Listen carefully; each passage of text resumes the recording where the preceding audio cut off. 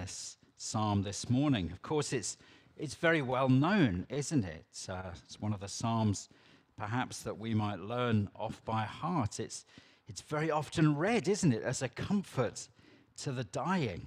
And it is a comfort to the dying.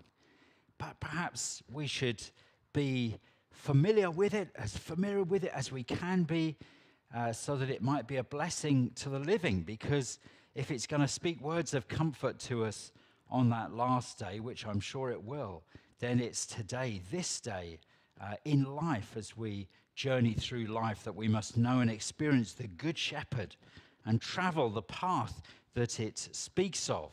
Um, so that's why we're reflecting upon it this morning.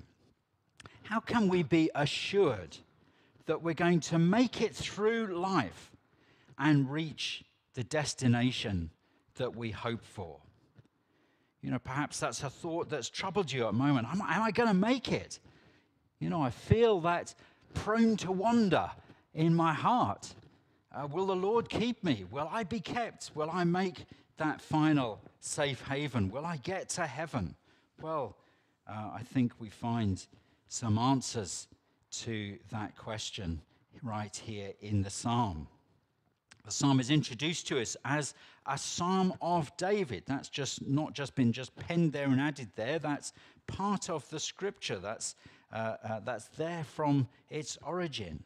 And it would be interesting, wouldn't it, to uh, to know at what point in David's life he penned the words to this psalm because we know that uh, as a youth he, he was a shepherd boy himself, wasn't he?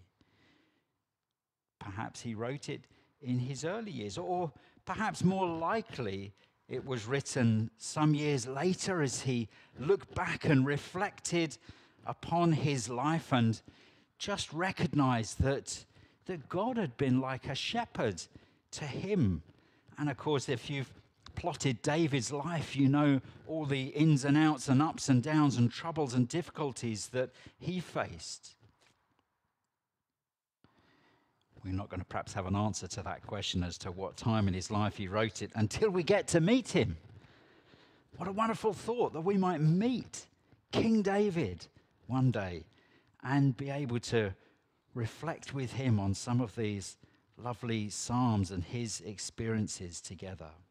What we do know, of course, is that David was the youngest of a number of brothers, wasn't he?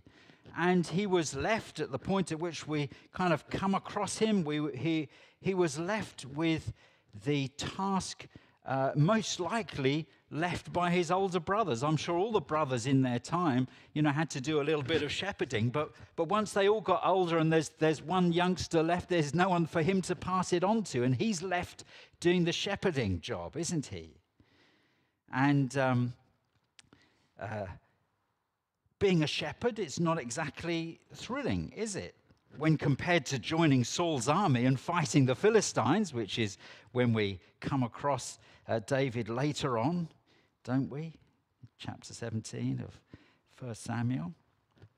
But you know, at that point in David's life as a youngster, this task gave him a purpose for to, to, fulfill, didn't it? It gave him a useful work to do and experiences that we can read that shaped him. And perhaps most of all, the time to quietly ponder as he looked over the sheep, as he took in the wonder of creation around him, as he reflected upon God's providence in so many different ways. And I think we can see in the psalm a sense of this, this personal experience and this journey that David him, himself has been on, which is why he's able to make it so, so personal.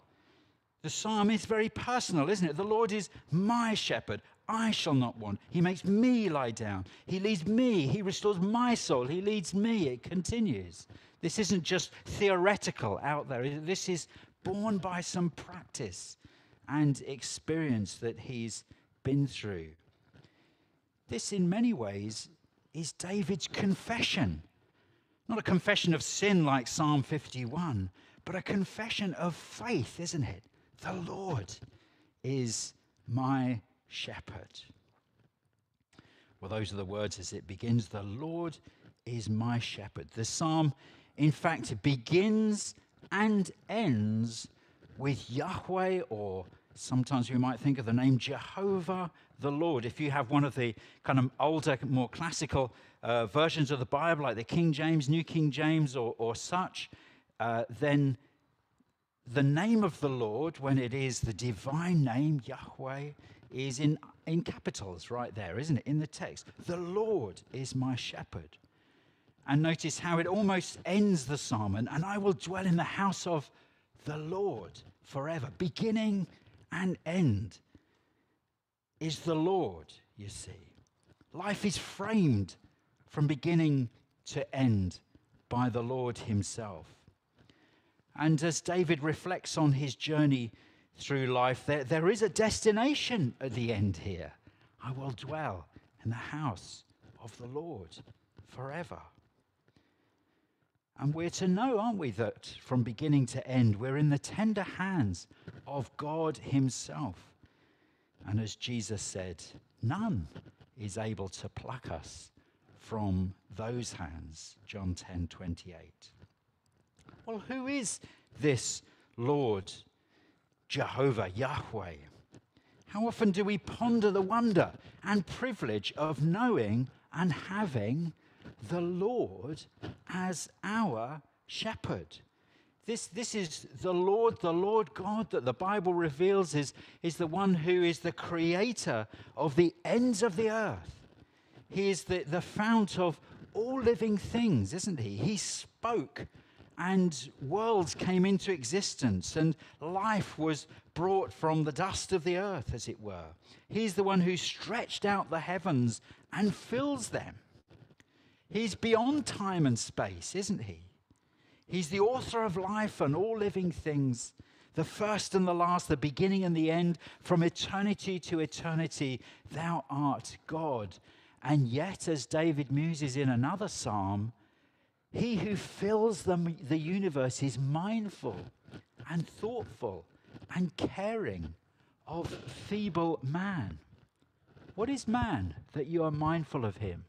Or the Son of Man that you visit him Psalm 8, verses 3 and 4.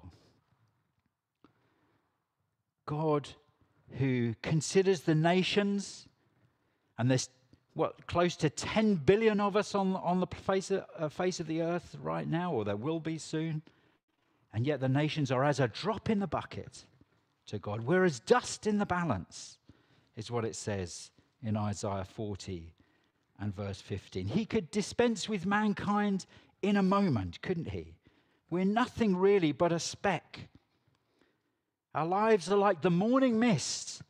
The sun rises and the mist is gone, isn't it? And yet God counts us as precious, doesn't he? He draws near, he makes himself known. He, this psalm indicates that he kind of puts his name at risk to come alongside us in our faultless and our fault lines and our failures and so on. He's there with us. Sometimes his name is scorned because of our actions and the things that we do, and yet he remains faithful alongside us. Why? Because as a father pities his children, so the Lord pities those who fear him. He knows our frame, he remembers we are dust. The Lord is our shepherd. Who is this Lord who is our shepherd? You know, it's tempting with the Old Testament to think this psalm is about the Father. You know, we might read this in the Old Testament, we, we, we might naturally think, well, this is surely about the Father. But I don't think we should think it is about the Father and therefore not the Son. It is about God the whole God, our Godhead, isn't it? It might seem at times, I've had this conversation on the doorstep with, with those who come and, and knock on the door, and there's people who would draw a distinction between uh, Yahweh, the divine name for the Lord and Adonai, which is another word in the Hebrew for Lord, and try and draw a distinction between them and say, ah, this is the Father, this is the Son. And, and so here, Psalm 23, this refers to the Father, it doesn't refer to the Son. An example of this is Psalm 110. The Lord said to my Lord, and there's both the Hebrew words for Lord there. And we can understand there, there's some way of understanding that, that, that here is the Father speaking to the Son. But it doesn't mean, it doesn't follow that actually in every place, the Lord, capitals, Yahweh, the divine name, only refers to the Father and not to the Son. Who is it that Isaiah saw in Isaiah chapter 6? He saw the Lord in all his glory, didn't he? The Lord, capitals, Yahweh in all his glory. And yet John 12 41 says, the person he saw in all his glory was the Lord Jesus Christ in all his glory. In the Old Testament it says Joel 2:32 for whosoever shall call upon the name of the Lord Jehovah capitals shall be saved. And yet Paul shows us Romans 10:13 that it is about calling upon the name of the Lord Jesus that we shall be saved and the creation psalm, Psalm 102, which re- repeats uh, again and again uh, the reflections upon the Lord God as creator is applied to Jesus in Hebrews chapter 1. Go and read it for yourself. In fact, what greater revelation of God the shepherd could there be than the presence of God among us in the person of Jesus Christ, the one who is the brightness of his glory and the express image of his person. Hebrews chapter 1 and verse 3. Who is this shepherd? It is our God, isn't it? It is the good shepherd who came to seek and to save that which was lost, who came to give his life for the sheep. The one who came to do that is none other than God himself. But we might think about, about why is there this motif of a shepherd? Why is that the kind of picture that, uh, that Scripture calls upon to express this relationship between God and us? You know, we live in a day, don't we, where you can, you can uh, employ a counselor for therapy. You can have a personal trainer if you want.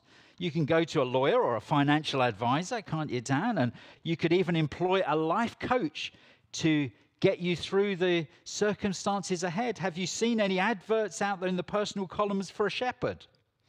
Looking for a shepherd. You don't see it.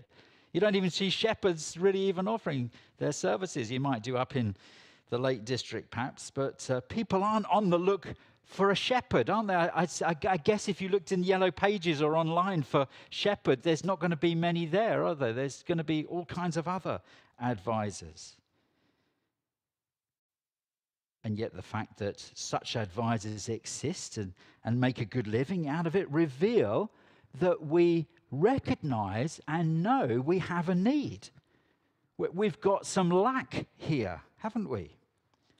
that in reality, we realize we can't thrive alone, but need the guidance and help for dependence and direction upon the wisdom and advice and mentoring of another. And one of the sober lessons in life is to realize that, that we're dependent, mortal creatures, aren't we? That are not self sufficient. But you know, all those advisors and coaches and counselors I've mentioned, they might help you in life, but will any of them help you face death? They might think that they can, but actually they're going to face death very much themselves, aren't they? To whom can we look to the weightier matters of real life and death? To others that are just like ourselves, mortal humans, or to the one who is the source of all strength, of all wisdom, the one who is behind all things, to God Himself. So, you know, it might not sound very sexy in the 21st century to think of God as our shepherd, but actually, we need Him, don't we? And, the, and as we shall see, the kind of visual image of the shepherd is something that we realize that we need because we're on a journey through life. It's like we're passing through a wilderness of experiences, and we need to know that someone is going to lead us to the destination that we hope for. Life is going to take us through needy times, isn't it? And dangerous places and difficult experiences. And as we shall see, the imagery of a shepherd is one that God has chosen, for it speaks well of his nature. God is a tender, caring shepherd to his people. It speaks well of our nature, like sheep gone astray. And that's why we need a shepherd, because God likens us all to sheep, doesn't he? In fact, it's, it's interesting to, you, you, you might want to do this sometime, to, to think through all the animals that God uses to describe some aspect of, of mankind's nature at times. He says we shouldn't be like the horse or, or the mule that needs bit and bridle to, to kind of hold us back or to, to uh, whip us without understanding into place. Psalm 32, verse 9. When Jesus hung on the cross, he, it, it says that there were dogs that surrounded him strong bulls of Bashan. Who's it, were, were there dogs there barking? No, this is people. Vicious, snarling, mocking, scorning, strong bulls, roaring lions. Psalm 22. We're to be wise as serpents, but harmless as doves, Jesus says. But you know, the most often the Lord implies, uh, employs an image for people, it, it is of sheep because no doubt we are like sheep. We're vulnerable, aren't we, to the wolves and dangers around us. Like sheep, Isaiah 53 6, we go astray. Everyone goes after his own way. No, this is what makes me happy. That's way I'm going. That's what I'm doing. I don't care. We go our own way and do our own thing, don't we? We get lost and are in need of tender care. In our English translation here, shepherd is a noun. The Lord is my shepherd.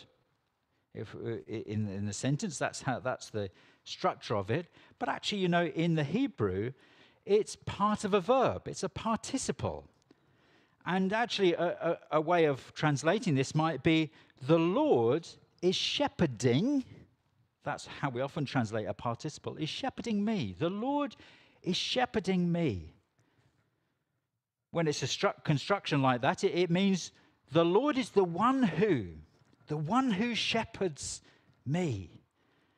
But the fact that it's a kind of verb rather than a noun just gives that little nuance, that little nudge that, that this is an active thing that God does. It's not just some kind of position that he employs. No, this is something that God does. He shepherds. He shepherds me. So, how should we understand God's shepherding of you and me? What does it mean? Well, this is what this psalm is about. The good shepherd provides, doesn't he? The good shepherd provides. The Lord is my shepherd. I shall not want. He makes me to lie down in green pastures. He leads me beside the still waters. He restores my soul. Because the Lord shepherds us, the promise is we shall not want. David knew times of lack, but actually he knew really that in those times of lack, the Lord wonderfully provided for him. That he didn't go without, that he didn't face hunger. And this is a word of promise, isn't it? It's a word of promise for us to know, it's, a, it's for us to remember and to hold on to by faith. How can we hold on to this? Well, it's all about the relationship that we have with God, who is the shepherd. He provides for us because we're his sheep, aren't we? We belong to him. And so he cares for us. You know, in, in, in this country, the, the land is, is so green, isn't it, that go up to, Derbyshire or the Lake District, Yorkshire, and places, the hillsides are so green that they just kind of put up these, uh, these nice uh, stone walls, don't they? Dry stone walls. And, you know, there's a green hillside, and you can just put the sheep in there and leave them to graze and look after themselves. That's how we do it here. But in the Middle East, it's not so. The climate is far hotter, the territory is far drier, and it's the shepherd's daily responsibility to feed the sheep and to provide for them what they need to eat and drink. Here, a shepherd might, might uh, gather the sheep from one field where he's left them for, for some weeks or months and, and move them with with dogs or a dog or two, perhaps to some other place, and he'll be behind them and drive the sheep, but not there in the Middle East. No, there, shepherding is a nomadic, it's a pastoral uh, uh, uh, activity. The shepherd, like on the picture on the front of our bulletin and on the WhatsApp group this morning, the shepherd goes ahead of the sheep, doesn't he? He leads them from place to place he leads them to follow him to the places where they will find what they need. And so David ponders that just as a shepherd leads the sheep to green pastures, so the Lord provides for us as we look to him and rely upon him and follow his voice and hear his call. I think the Lord Jesus had this in mind, didn't he, when he said in John 10, verses 9 and 10, I am the door. We know in context it was the door to the sheepfold, wasn't it? I am the door. If anyone enters by me, he will be saved. And he will go in and out and find what? Find pasture, green pasture. He will find the food he needs for his soul the thief, he just comes to, to kill and steal and destroy. But I have come that they may have life and life more abundantly. John 10 9 and 10. When the Lord is our shepherd, we have his promise of provision, don't we? We shall not lack what we need. He doesn't promise to give us everything we might want because our wants left unchecked might be endless. Those of you with youngsters, what would you what do you want? They might start to list out and keep listing and keep listing. You think that's going to break the bank balance. Well, the Lord doesn't promise, even for us, everything that we might want. Because we're to be content with such things as we have. Our, focus isn't to be on earthly things, but on heavenly things. That's where our treasure is to be, isn't it? With the Lord in heaven. But the Lord knows the things that we need and he promises to provide them. My God shall provide all your need according to his riches in glory by Christ Jesus. Philippians 4:19. That's another precious promise of God, isn't it? Give us this day our daily bread. He will give us this day our daily bread. And I'm sure so much more besides as well, because God knows our needs and promises to feed us and to lead us to rest and refreshment, just as described here. And note, He doesn't just provide for the physical body, but for the spiritual side of us too. He, le- he makes me lie down in green pastures. There's rest, there's food, there's sustenance, there's uh, thoughts there. He leads me beside the still waters, refreshment, and so on. He restores my soul here, speaking of that inward, renewing uh, restoration. Restore means to, uh, in, the, in the original language, to return to fullness. To return to fullness. You know, in this, this earthly life will pass, won't it? Our, our body will perish, won't it? This body as it is, and this world as it is, it cannot be sustained as it is forever. It needs renewal and transformation. And to give us that hope and possibility of being made new, Christ came from heaven, didn't he? to seek and to save that which was lost, to give his life a ransom for many. He came to be the bread from heaven, the manna from God. He came to give his life as life for the world, didn't he? And he freely gives that we might drink deeply of the living water which springs up to eternal life, that we might eat to satisfaction, as it were, of the bread of life which will not fuel us just for this life and this body and, and the daily energy, but as it were, to feed and restore our soul and spirit, that it might be filled with the new life that God imparts to us in the darkness of our lost state. Yes, He restores our soul. Are you resting in the Lord? Are you feeding upon Him? the satisfying provision that He gives. For He is the bread of life, isn't He? Have you drunk from those refreshing waters? Because without that, how is your soul going to be restored? You see. Without that, well, we just remain a physical body which gets older and creakier and wrinklier and starts to fail and go dry. And so will your soul too. It will perish along with you. But our life giving God has given his life for his sheep, hasn't he? And, and it is to sustain us through to eternal life with him. We need to make sure that we're feeding on that which our good shepherd has provided for us in the Lord Jesus Christ. The Good Shepherd protects, doesn't he? The Good Shepherd protects. He leads me in the paths of righteousness for his name's sake. Yea, though I walk through the valley of the shadow of death, I will fear no evil, for you are with me, your rod and your staff, they comfort me.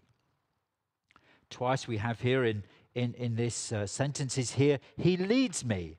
He leads me in the paths of righteousness.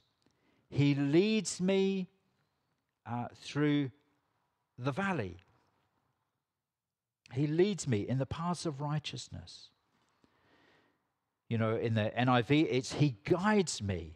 And that's probably better. Not only does God provide, but He protects too. And He protects us by guiding us in his way. If you're somebody asks you for directions to get from here to there, and you know you know the cut through the cut through way where it's really dangerous, but you think, I don't think I better describe that to them. I'm going to give them the straightforward way.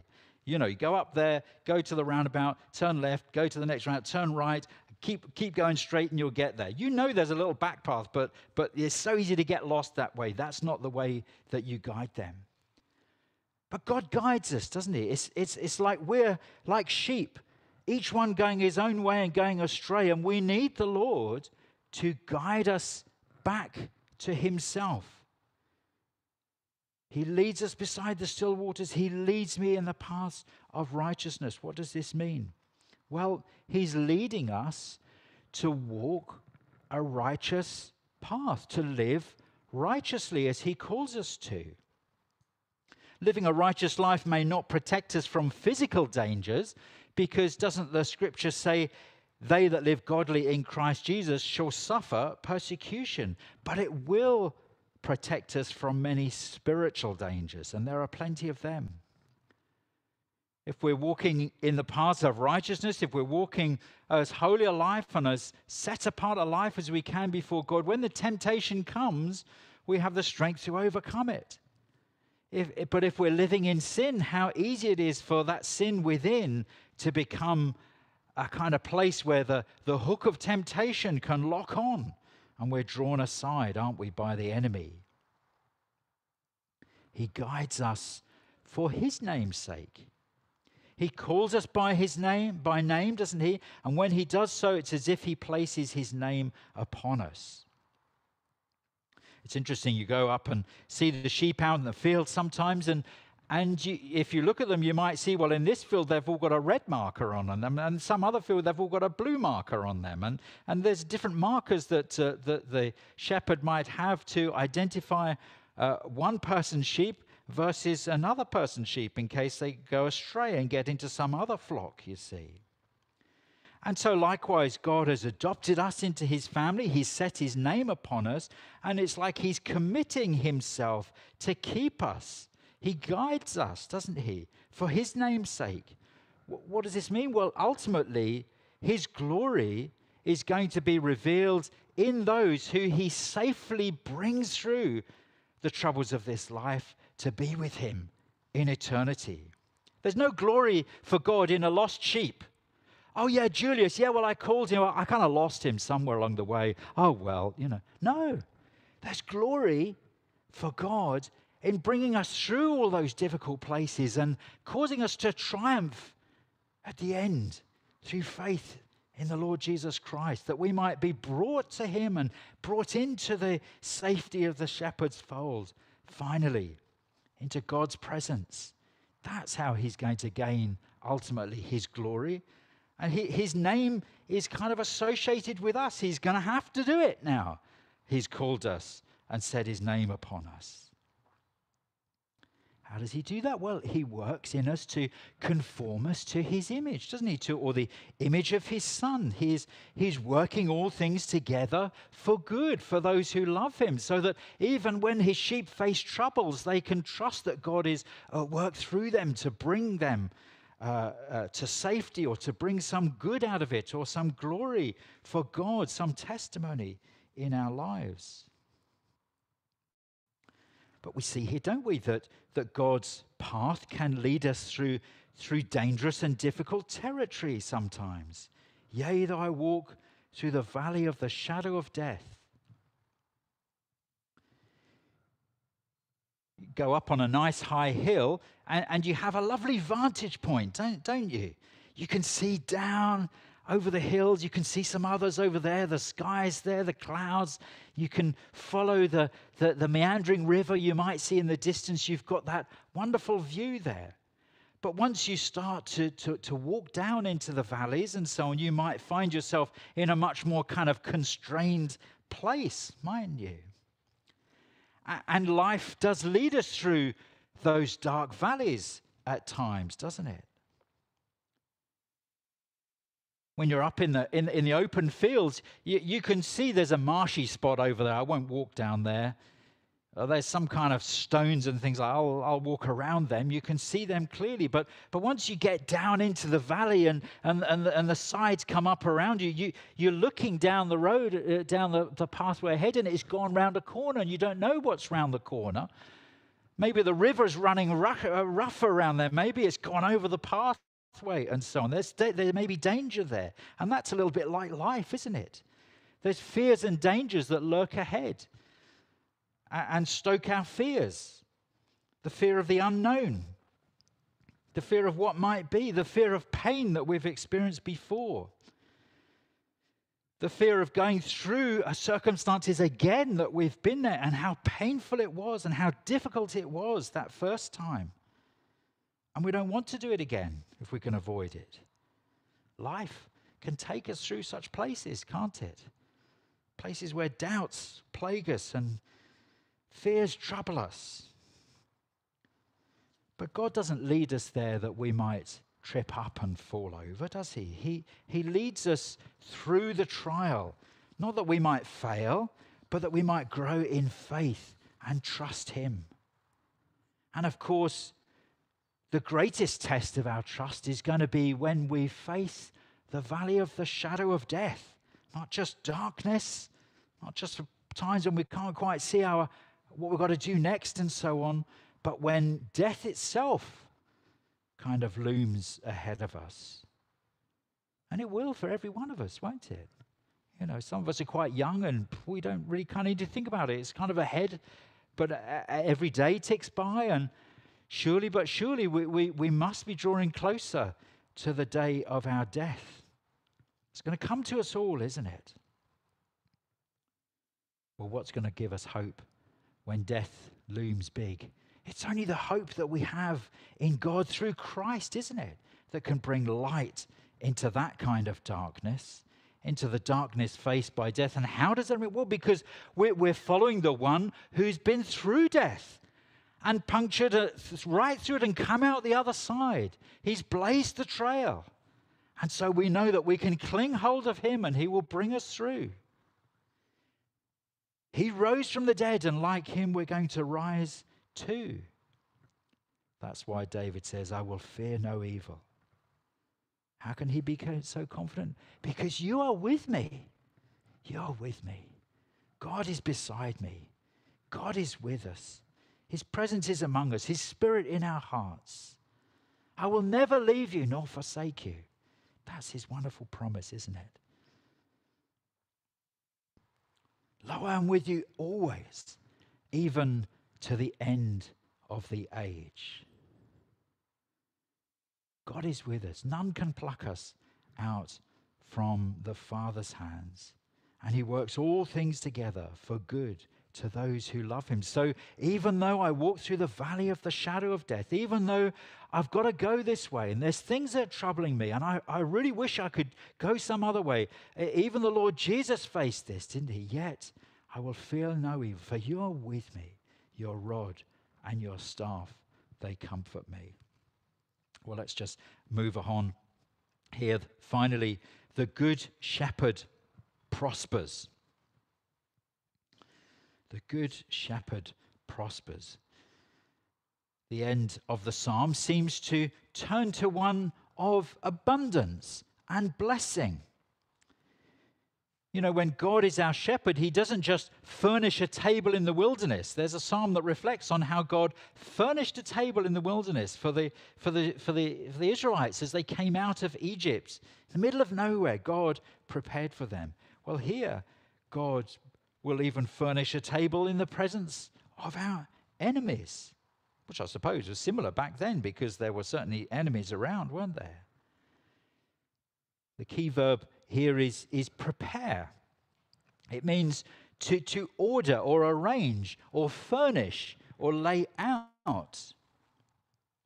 And this, if we hold on to that thought of, of arranging things, preparing and arranging and so on. It just reminds us of God's sovereignty over our circumstances, that ultimately He's going to prosper and to bless, though we may have to pass through lean times on the way. You know, there are times, aren't there, when the enemy scoffs. Where is your God now? Where is he? All seems to be going wrong for you right now, doesn't it? You know, we've, we've given our testimony and we're facing troubles. Where's your God now? They certainly cried that out to the Lord Jesus, didn't they, on the cross? The world scorns us for our stand sometimes, doesn't it? It wants to bully us into following its way of thinking. And we can kowtow to that, or, or we just have to trust in the Lord and trust that He is going to, as it were, prepare a table before me, even in the presence of my enemies. He's going to bring me through this. He's going to, he's going to arrange what's needed for my protection, for my provision, for, for me to prosper in this difficult moment, even in the face of enemies. Yesterday, 500 years ago to the day, April the 17th, 1521, Martin Luther was there at the Diet of Worms, which wasn't a bowl full of worms to eat. It was a diet and a, a, an assembly at a place called Worms, where he was tested and tried and quizzed about his belief that God justifies by faith and that the church selling its indulgences, the Roman Catholic Church, was doing a wicked an awful thing. And what was it? He, he, he had to trust in the Lord that God would prepare a table for him in, in the front of his enemies. Here I stand, I can do none other. So help me, God, the words he is reputed to have said. And so for us also, sometimes The enemies are there, and we just have to stand and God and trust in Him. For in time that we know, God can turn the tables. And He will turn the tables. Where are those that mocked Jesus when He hung on the cross? Where were they on the Sunday? Well, they, they, they were excluded. They didn't know what was going on, truly, did they? And if they really realized, they would repent in dust and ashes for their mockery of the Son of God. Come down from the cross if you're the Son of God. Save yourself while he hangs there to save the very scoffers. You see, God turns the tables, doesn't he? Christ, through suffering, was raised up to glory. Christ, for the joy that was set before him, endured the cross. And we have to hold on to those same things ourselves, don't we? In God's hands, suffering leads to glory, doesn't it? In God's hands, humility leads to exaltation. Those who fall at his feet will rise, won't they? That's the promise. The Lord Jesus will be testified in due time. 1 Timothy chapter 2 verses 5 and 6. And those who are his also, funny enough, when he comes in that day to be glorified in his saints and admired among all those who have believed. 2 Thessalonians chapter 1 verse 10. The world may mock and scorn and give us difficulties right now, but the day will come when the tables will turn. When, when the, the return of the Lord Jesus in flaming fire is for us a joyful expectation, a day of reunion and rejoicing in the Lord, but for others, hide us from the wrath of the Lamb because they're unprepared for that day. The tables have turned. You know, the troubles we face may well be real, but, but God is arranging everything for our good, isn't it? He anoints our head with oil, our cup runs over. He, he is pouring out His goodness and mercy to follow us all the days of our life. He's going to bring us through hardship into abundance. For His goodness and mercy, that's the word chesed again. I, I, like to point that out just so you see so many times when it speaks of God's mercy, here translated mercy, sometimes loving kindness. God's goodness and mercy, his chesed, his loving kindness, won't just follow us, it's, it's actually pursue us.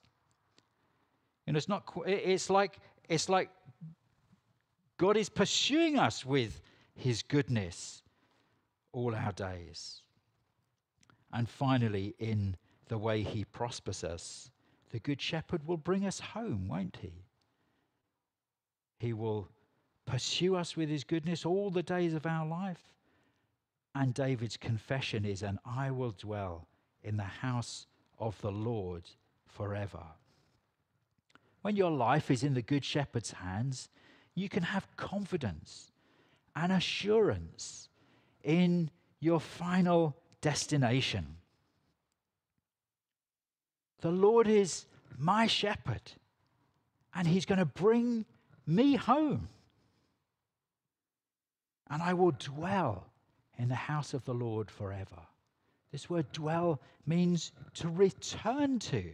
It's like we've departed and God is bringing us back, back home to the house of the Lord, to the presence of the Lord, to the place where the Lord is, Lord is forever. So, as we finish this morning, is the Lord your shepherd? It might not sound a very 21st century, sexy kind of a thing to think about, but actually, when we think about it in relation to life, it's a very real and important thought, isn't it? about knowing the Lord so well that we can think of him as our shepherd. And he is our shepherd. He is seeking you out, he's calling you by name. And we're to hear that call and trust him and follow him all the days of our life. And we can know that even through the difficulties and the hardships, the troubles that will come, God will bring us through them that he might gain glory in our lives by bringing us safely to that last sheepfold, as it were, to the safe haven where we will be with him forever. So hear his call and trust in him today. And don't doubt in the darkness what God has taught you in the light. Let's close in prayer this morning.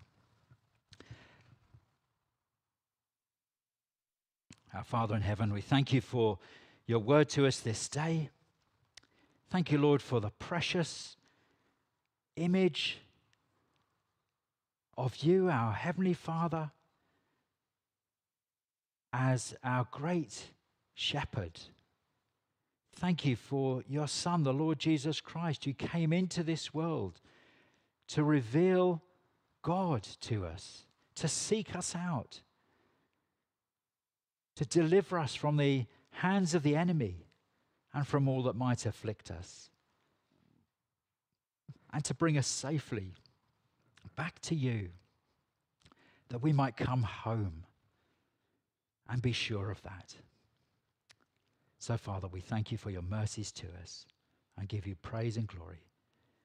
In Jesus' name, Amen. Amen.